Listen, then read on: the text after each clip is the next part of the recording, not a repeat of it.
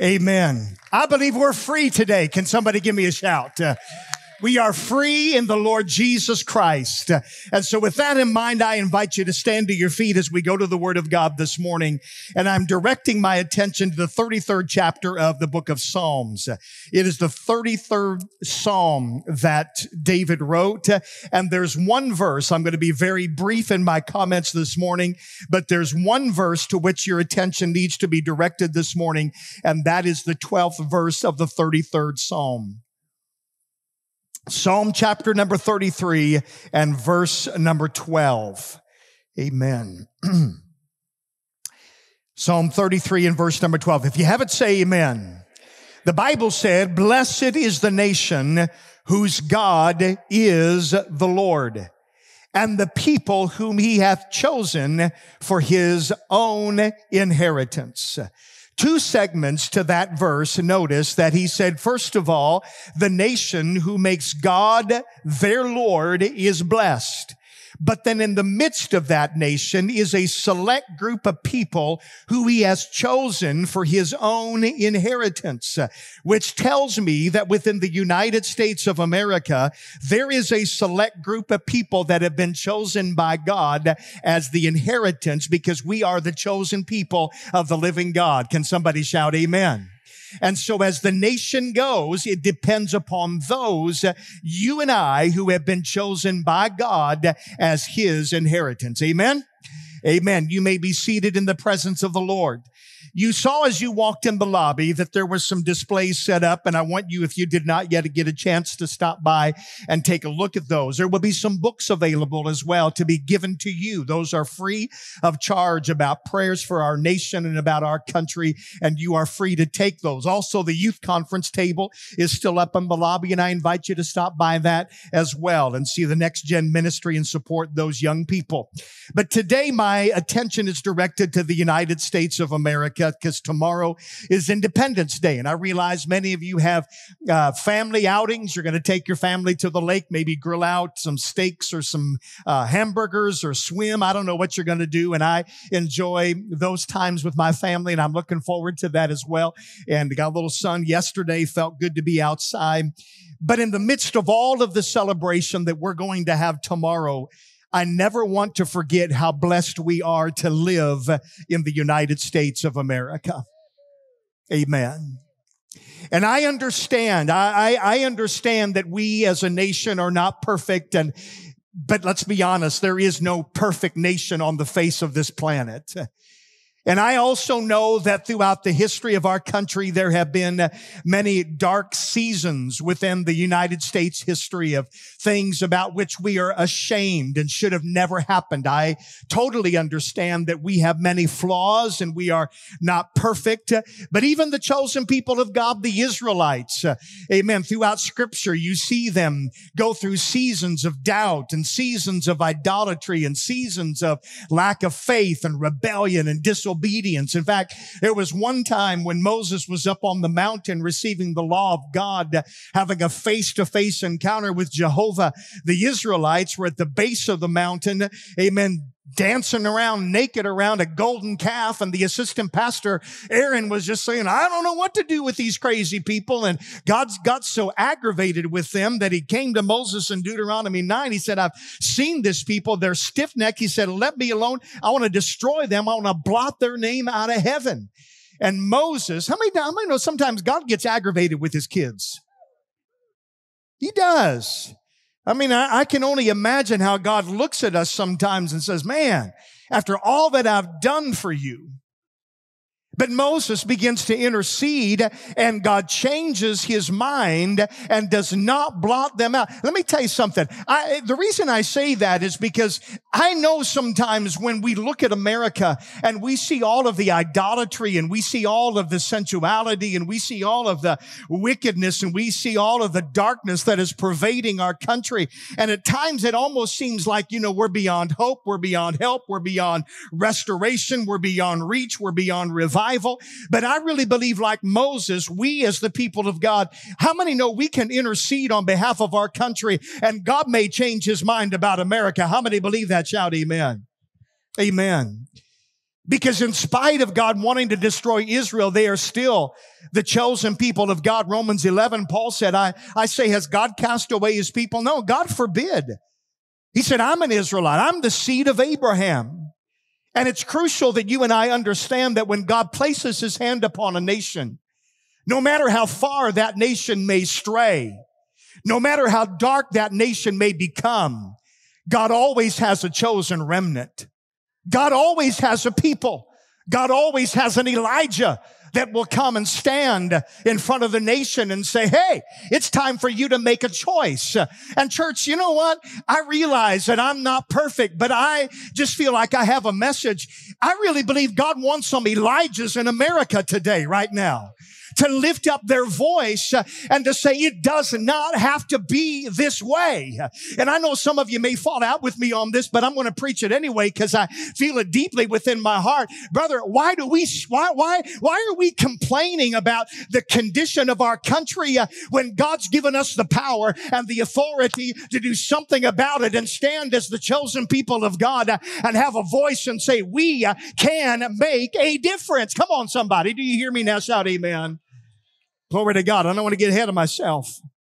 But it's very easy to look around and see the spirit of lawlessness and, and, and, and, and, and realize that yes, the devil is having uh, his way within our country. And, and I, I, I look at what's going on in the entertainment industry and I look at what's going on in, in politics and I go to the gas pump and, you know, paying five bucks a gallon for gas. And I, I look at everything that's going on and it's easy for us to hang our head and we, we, we wonder, Lord, is there anything that I can do? But let me tell you what God said through the prophet Jeremiah. He said, call unto me and I will answer you and I will show you great and mighty things which you do not know. Amen. Something powerful happens when a man has hope. How many believe that? And I just want to tell you, I still got hope. Uh, amen. My hope, uh, amen, does not rest in the White House. My hope does not rest uh, in the State House. My hope does not rest in a congressman or a congresswoman. Amen. My hope does not rest even in America. My hope rests in the Lord Jesus Christ, who is the King of Kings and the Lord of Lords. And as long as there is breath in my lungs, I'm going to preach the glory glorious gospel uh, of the Lord Jesus Christ uh, and motivate a church uh, to get off our tail end and realize who we are as the blood bought church of the Lord Jesus Christ and realize we are the lighthouse to this world. Somebody shout amen. Glory to God. No matter how bad things get in our nation, there is a hope that God wants his people to possess uh, about our country. I love what Paul wrote about uh, Paul and or Paul wrote about uh, Abraham in Romans chapter 4. He said, who against hope, he believed in hope uh, that he might become the father of many nations according to that which is spoken, uh, and so shall thy seed be. I love the songwriter who so eloquently wrote that my hope is built on nothing less but Jesus' blood and righteousness. I dare not trust the sweetest frame, but I wholly lean on Jesus' name. On Christ, the solid rock I stand. All other ground is sinking sand. How many are glad we've got a foundation in Jesus today? Amen. Without God, America has no hope. I don't care if it's a Republican, Democrat, Independent, Libertarian, Green Party, or whoever, Orange Party, whoever sitting in the White House. Outside of God, we don't have hope. Without God, America's done. We're doomed. We're destroyed. But with God, I said, with God, there can and there will be hope for a divine turnaround in our nation. We've begun to see even last week with the overturning of Roe versus Wade, further protecting the lives of the unborn. Amen. 50 years of prayer that went in. Amen. Let me tell you something. God is still moving. Come on, somebody. He's still moving. And that's why the psalmist could say, blessed is the nation whose God is the Lord and the people whom he hath chosen for his inheritance. Now, I'm not here just to pump you up or make you feel good. I want to show you why we have hope. Why we stand in the face of seemingly incredible opposition and still have hope that God is moving in our country. Number one, we have hope because of where we have been. Because of where we have been. The psalmist said, blessed is the nation whose God is the Lord. Now, I understand there's a lot of revisionists that are trying to rewrite the history of the United States and they're going into the history books of uh, classrooms and, and, and, and, and rewriting the history and taking God out of the history uh, of the United States. But I'm going to just tell you, uh, you can't change what has happened. And our nation was founded on a foundation that is based upon this book, which is uh, the word of Almighty God. Amen. You can, you can, you can like it. You can lump it. You can disagree with it, but it is a fact fact. It is a fact. On July 4, 1776 in Philadelphia, our founding fathers signed a document declaring our independence from the tyranny of those who would enslave the minds, souls, and lives of men. But what we don't realize is that the same document not only declared our independence from Great Britain, but also our dependence upon Almighty God. Same document. Declaration of Independence begins by proclaiming that we are subject, check this out, only to the laws of nature and nature's God. You know how the Declaration of Independence ends? It ends with these words, with a firm reliance on the protection of divine providence. We mutually pledge to each other our lives, our fortunes, and our sacred honor. These men wrote these words on that sweltering day in Philadelphia saying that we are dependent only upon the provision of Almighty God. Our fathers did not believe in the separation of God from government, but rather they believed that this nation was founded by God, protected by God, preserved by God, and prospered by God. And because of that, of the 56 who signed the Declaration of Independence, nine of them died in the hardships of war, five captured, imprisoned, and subjected to torture. Several lost their wives, children, or their entire families. One lost all 13 of his children. Two wives were brutalized by the British. All were at one time uh, victims of manhunts and driven from their homes. 12 had their homes completely burned. 17 lost everything they owned. But but all of them did it because they believed upon the foundation in which they were building this country. Now, let me tell you something. Why do I tell you that? It's because of this. I understand we're living in a day right now that is trying to undo everything, amen, that this nation has been built on.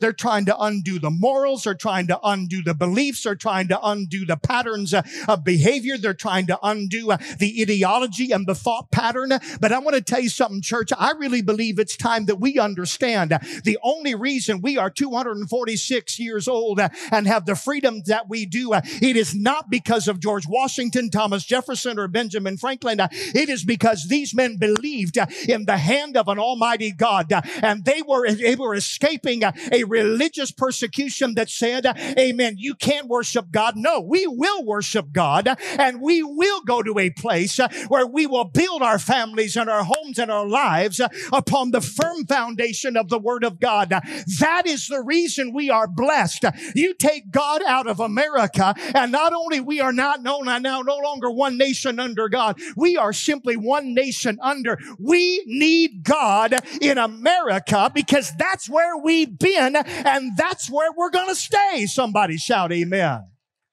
Hallelujah. I realize, listen, I realize the house may crumble. I realize it's being dismantled by leftist thinking uh, and liberal theologians that are denying the validity uh, of the word of God. I understand uh, that politicians are trying to push, amen, a leftist agenda that are undermining, amen, the thought processes of the United States of America. Yes, piece by piece, the house may be dismantled, but as long as the foundation remains, you can tear the whole house down and you can rebuild it again. And brother, I'm telling you, under the divine unction of the Holy Ghost, that the foundation of America is secure because the foundation is in this book, which is the inspired word of Almighty God. Somebody shout amen. Hallelujah. Glory to God. So why do I have hope in America? I have hope because of where we've been. I have hope, amen, because of what we were built upon. Amen. But number two, amen, the psalmist not only said, blessed is the nation whose God is the Lord, but also the people that he has chosen for his inheritance. So number two, I've got hope in America because of who we are. Because of who we are. Let me explain it this way. Paul the apostle said, Second Corinthians chapter 5, that we are ambassadors for Christ. As though God did beseech you by us. We pray you in Christ's stead, be reconciled to God. Now, why did the Holy Ghost move upon the apostle Paul to write the word ambassadors? What is an ambassador?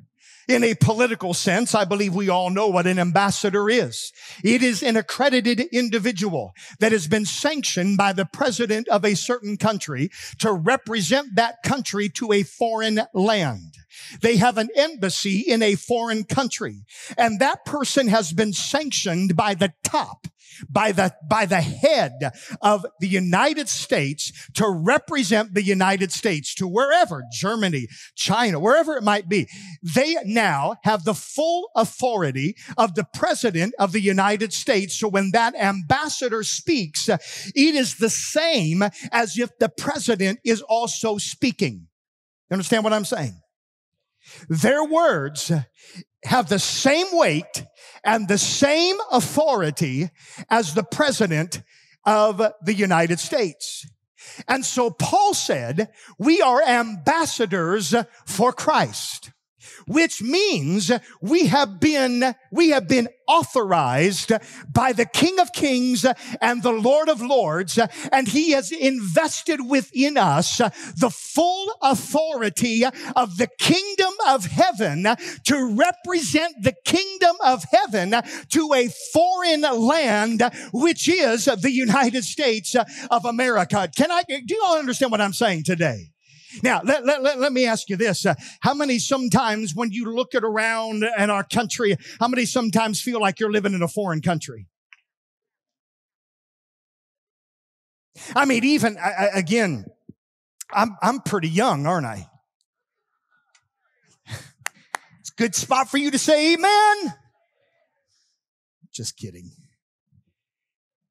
But, he, but, but, but this country is fundamentally different right now than it was even when I was a kid. I mean, there's, there's, there's, there's junk going on now that I never imagined we would be facing in our country. But take that aside from the spiritual standpoint. We come from a different kingdom. We're serving the kingdom and everlasting kingdom of heaven that is never going to go away. Amen. Amen. It is governed by the King of Kings and the Lord of Lords. It is governed by the Master of the universe. And Jesus, when He redeemed us, has invested within us His full authority. You know, Paul said this. He said, You are a chosen generation, a royal priesthood, and an holy nation. You are a peculiar people. In other words, you do not fit in. You are different. You, and let me tell you something, church. Anytime the world can't tell the difference between the world and the church, uh, we have failed in our mission. I said, we have failed in our mission. He said, you are different than the world. He went on to say in the, the 11th verse, he said, dearly beloved, he said, I beseech you as a stranger and as a pilgrim. You're a stranger. You don't fit in. This world is strange, but you're also a pilgrim, meaning you are just passing through. How many are glad this world is not your home? Amen. I said, this world is not your home. I could preach on that for a long time. Amen. We've got a place called heaven that we're going to listen, every ache and pain. Amen. Every joint that creaks when you get out of bed in the morning. Every Every headache is going to be gone. All the gray hair, no hair, whatever is going to be gone. Amen. You're going to be living in a place of divine perfection throughout all of eternity, uh, shouting around the throne of the Lord Jesus Christ. We are strangers and we're pilgrims in this world. Amen. But while we are here, we are ambassadors. And church, this is what I want you to understand today. This is why I have hope. Uh, amen. Jesus said in Matthew 6, uh, when he taught us how to pray, he said, thy kingdom come. He said, thy will be done where? Check it out. Where? In earth uh, as it is in heaven. It is our job to bring, amen, the principles of the kingdom of heaven down to this earth as an ambassador. Amen. You have the authority of the Lord Jesus Christ living inside of you. So brother, do not back down from that fella that says, amen, that he's got a right to do whatever. Let me tell you something. You've got the right as a child of God to stand on the word of God and say, thus saith the Lord. You can believe what you want, but this is the inspired word of God. You have the authority of Almighty God living within you. Amen. How do we bring that authority? Number one, we get on our knees. We get on our knees. Paul told Timothy, he said, I exhort you therefore. He said, first of all. Everybody shout the word first. Not second, not third, not fourth. But he said, first of all, supplications, prayers, intercession, giving of thanks uh, should be made for all men, for kings and for all that are in authority, that we may lead a quiet and a peaceable life in all godliness and honesty, for this is good and acceptable in the sight of God our Savior. I want to tell you something, church. I really believe, and I will admit, I have failed many times.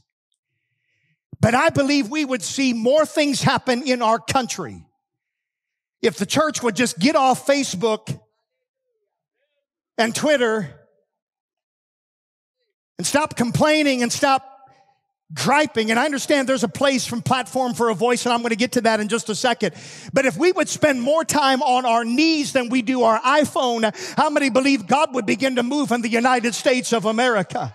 If we would start talking more to God about America than we do to everybody else about how much we disagree with the president and the Congress and everybody else, because God is the only one that has the power to change anything. Somebody shout amen. You say, Pastor, come on now. Do you really believe that? Yes, I do, because the Bible says in Proverbs 21 and verse 1 that the king's heart is in the hand of the Lord.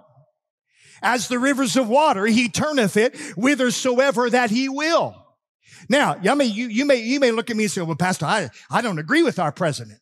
I don't agree with our Congress. Doesn't matter if, doesn't matter if they're an ungodly outfit. God can still change their heart. How many believe it? Shout amen. I said, you don't hear what I'm saying. Cyrus was a Persian king, not a follower of God. He was a pagan. But yet God stirred up, Second Chronicles 36, the spirit of Cyrus king of Persia, so that he made a proclamation throughout all of his kingdom and said, thus saith the king, Cyrus, king of Persia, the Lord has given me all the kingdoms of the earth and he's charged me to build him a house at Jerusalem. Cyrus is a pagan king, doesn't follow God, but God inspired him. And he said, you know what? I'm going to build a house for God in Jerusalem. Amen. He doesn't know God. He's not saved. He's not a believer. But you know what? Amen. God can make even an unbeliever do his will. When God's people get on their face and say, hey, we need revival, God can take a president, a king, and a congressman and change their heart. Amen. Glory to God. I believe our president can get saved, don't you? Mm, I only got about half of you on that. I said, I believe our president can get saved. I believe the Spirit of God can come in the White House uh, and conviction can get that cabinet uh, and something can happen. Uh, come on, church, do we believe I said, do we believe God or not? Paul said, pray for the king. Pray for the emperor. Amen. Pray. In that day it was Nero. Nero was a bloodthirsty, godless individual, but Paul said, pray for him because I believe that as long as there's breath uh, in somebody's lungs, there is hope. Uh, and when God gets a hold of the heart of leaders, uh, amen, the heart of leaders can change the heart of a nation. Amen. Future of America does not depend on the people in the state house, the courthouse, the Congress, the White House. I believe the future of America depends upon the church house. Second Chronicles 7 and 14, the Bible said, if my people, this is still the beacon of hope that this nation rests upon. If my people, which are called by my name, shall humble themselves and pray and seek my face and turn from their wicked ways, I will hear from heaven and I will forgive their sin. And this is the best part. He said, I will heal their land. That is a word from God. Do you believe that? I'm asking you right now, and I've been guilty. I have not done it every day. I'm asking you right now to start praying every day for your president. I don't care if he's your party or not, doesn't matter. Start praying for your Congress. Start praying for your representative. Get a hold of the courts of heaven. I lost some of you on that, didn't I? I said, get a hold of the courts of heaven. You know why? And, and, and, and I truly believe this because the authority that is in you is more powerful than the authority that is in our president. I said the authority, and I'm not being rebellious when I say that. I mean that with all my heart. The authority that is in you is more powerful than the authority that is in the heart of the president uh, because you have the authority of the King of Kings and the Lord of Lords. Uh, when are we going to stop walking around limp wristed uh, with our head down like we don't even know who we are when we've got the authority of the Lord Jesus Christ living within us? Jesus said, You're going to say to that mountain, Be thou removed, and it will be it because of the authority that lies within you. You will lay hands on on the sick and what's going to happen? They will recover. Amen. You've got power over demons. You've got power over serpents and scorpions. Amen. You can drink deadly poison, not on purpose, of course. Amen. But you've got authority and it's not going to hurt you. Why? Because the authority in you is greater than the authority out there. So take that authority and pray for your leaders. Somebody shout amen. Do you understand what I'm saying? Unfortunately, the times are desperate, but the church is not. We need to cry out to God on behalf of our nation and its leadership. Get desperate before God. Not a little, now I lay me down to sleep kind of prayer. Not a good food, good meat, good Lord, let's eat kind of prayer. Pray like the future of the nation depends on it. Because it does. Are y'all with me today? Amen. Get on our knees. But number two, get on our feet. Get on our feet. George Washington is credited with saying that government is a troublesome servant and a fearful master. There comes a time that we've got to get up on our feet and stand up for what we believe. There comes a time if the government commands what God condemns, you are obligated to have a voice. The midwives disobeyed Pharaoh's command to kill all the Hebrew baby boys. Daniel disobeyed King Darius and prayed to God anyway, even though he wasn't supposed to. The same Peter who wrote that we should submit to government's authority and respect the king is the same Peter who boldly told the religious leaders who told him to stop preaching about Jesus that we must obey God, Acts 5, rather than men. Christians in Asia Minor disobeyed the imperial edict to, edict to swear Caesar is Lord. They threw their incense to the ground in defiance and declared Christ is Lord. They were all blessed by God for the stand they took against the government and for the truth. Now, I am not, I am not in any way advocating civil disobedience, but what I am advocating is that we as a church need to get our head out of the sand and get up on our feet and pay attention to what is going on in our nation right now. Because if you don't stand up for your freedom, they are about to be taken right away from you and you're going to stick around and say, Hey, what just happened? I tell you what just happened.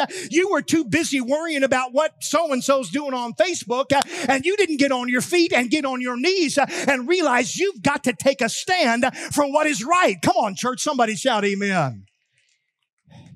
Let me say this. We've got, we've got individuals in our church that are principals and teachers and bus drivers and educators in our public school and they are godly righteous men and women of God and I want to tell you men and women that are in our public school system I honor you and I feel we need to honor them right now today because you I've heard from some of them They've told me stories of what they go through every day. The, the, the stories of, of children coming and, and, and out of horrific situations and little five year olds dropping the F bomb on the bus. And, you know, they don't even know what they're doing. These little kids, they have, they're being raised in a cesspool of unrighteousness. Uh, amen. But I tell you that uh, because parents, let me tell you, I really believe you need to get on your feet and get in the classroom and figure out what is happening in the classrooms of America and what is happening to the children of America and you need to step up and say, ah, no, no, no. My Johnny is not going to be taught uh, that he can be a boy or a girl. Depends on how he feels. Uh, that is against the word of God. You as a parent have a right to get up in the face of an educator and say, oh no, that is not right. Uh, my child will not be subjected to that kind of teaching.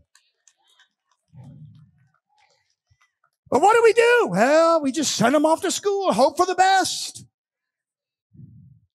Yeah, you just hope for the best, you're going to get the worst.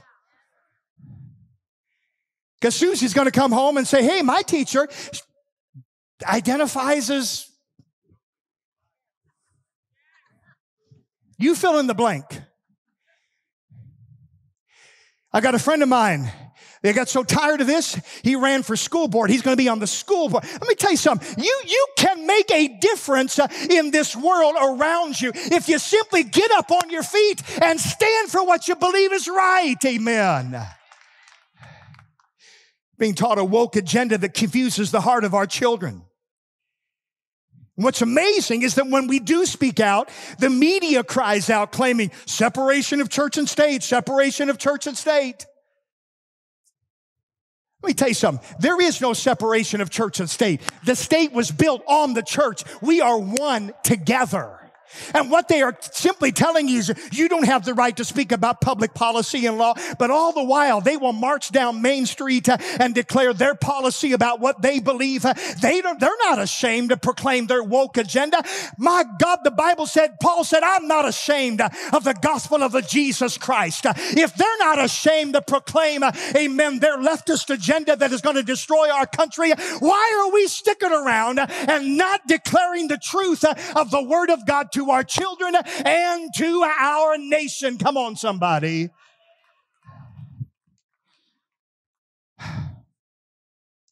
They want us to cower in the church and lock ourselves in a little stained glass prison and stay there. And that's exactly what the devil wants. Salt, salt shackled in the sanctuary and light, light locked down in the church house.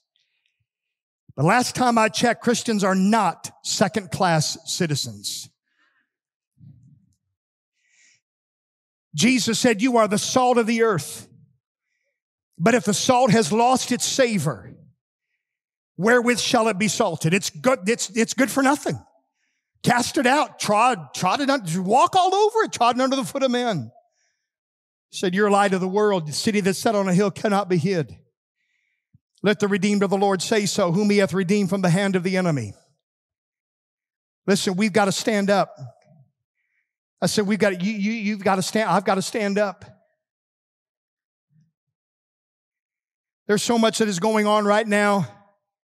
Kids being taught critical race theory, putting one against another. Now, I'm just going to be vulnerable with you. I like Toy Story. You like those movies? Until the last one came out. Buzz Lightyear, come on. Who doesn't like Buzz Lightyear? Was check was checking it. I did. was checking it out. Take, take take my family to watch it. Found out he's being raised by two lesbians. And that is a movie that is being put in the heads. And I know you say, Pastor, you shouldn't be talking about that behind the pulpit. Let me tell you something. The reason I'm talking about it is behind the pulpit is because you and I aren't talking about it in our homes. And if I don't say it, nobody's going to say it. And your child's going to go to the movie and think it's okay to be raised by two women or two men as partners because that's the culture. Let me tell you something. That may be the culture, but it's not the truth of the word of God. And you need to pull your bucks out of the theater pull your money out of the theater and say, We're not going, and here's why. Here's why. This is why and set your child down and say, this is what we believe God has for marriage. And they are not promoting what God says about marriage, but I want you to know what God says about marriage and quit shrugging your shoulders and acting like there's nothing that you can do. Brother, there is something that you can do because money talks.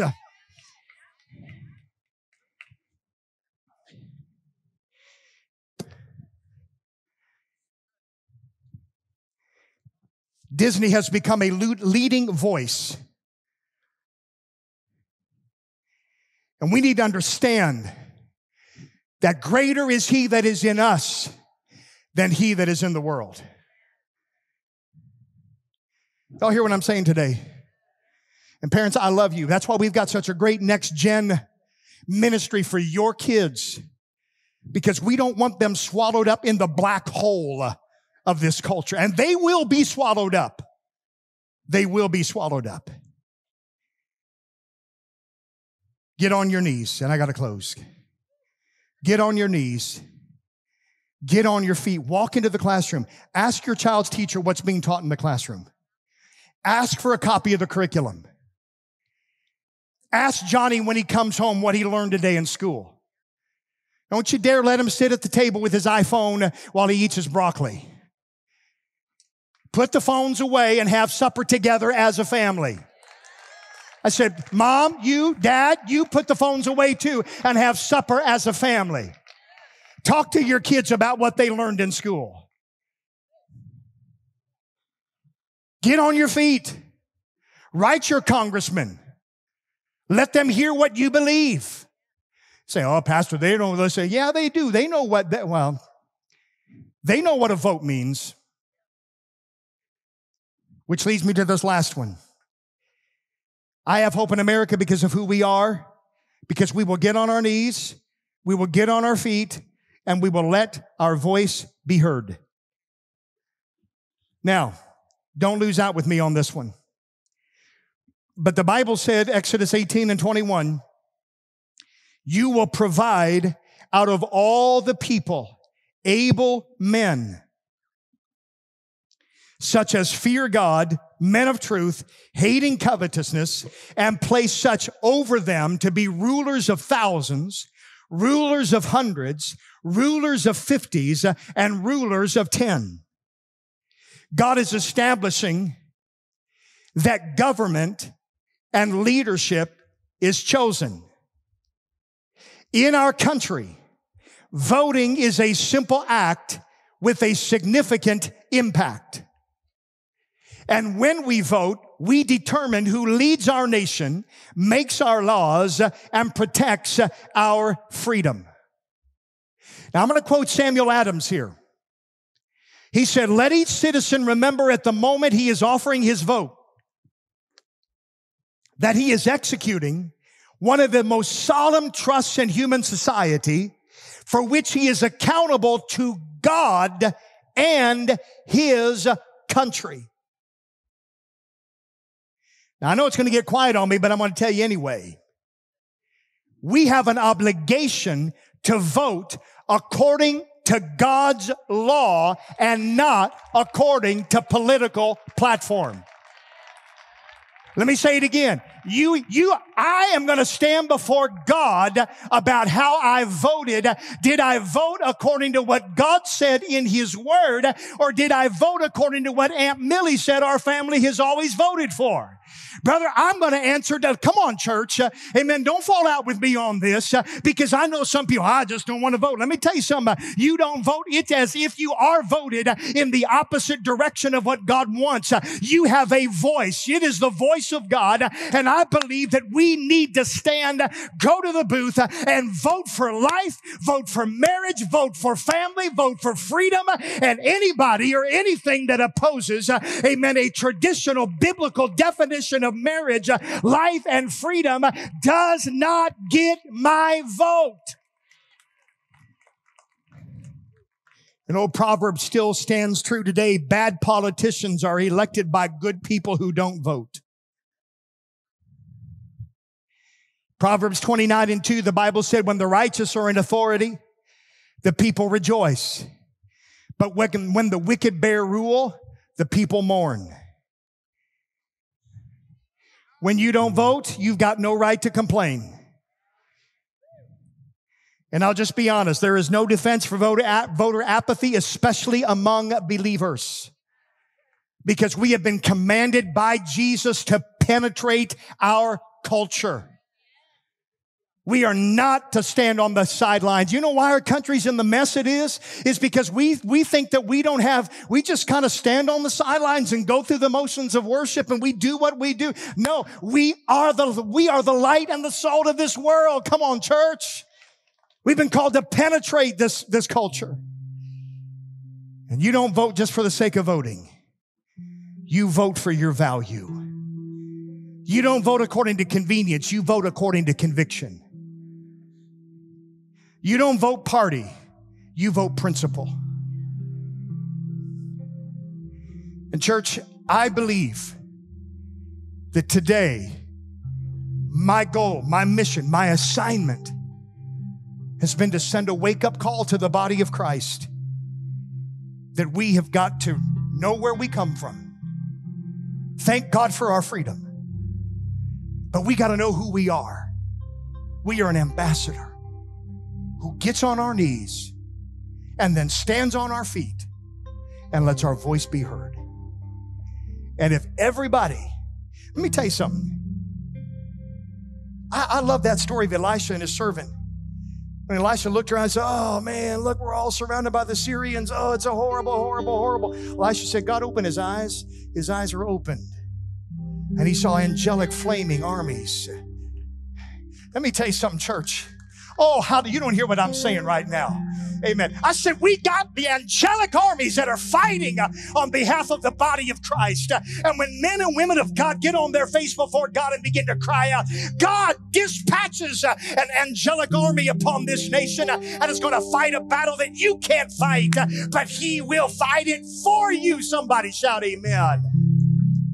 I believe the Spirit of God will get in, in, in, in our Congress, in our Supreme Court, in our courthouses in our sheriff's offices. You may not be able to physically walk in there, but the Spirit of God can. And if you will pray that way, He will do it. But we've got to get serious. So I pray that what I have said, you were able to receive from a heart that means what I say. I love my God and I love our country. And I want to I want to be free. I want to be free. And I, I, I believe America has a prophetic role to play in these last days. I believe we have a role to play in our support of the nation of Israel. And we, I believe, will be the only country that comes to stand in the gap for Israel when everybody else is turned against the Jewish people. I believe the United States has been chosen by God to stand with her.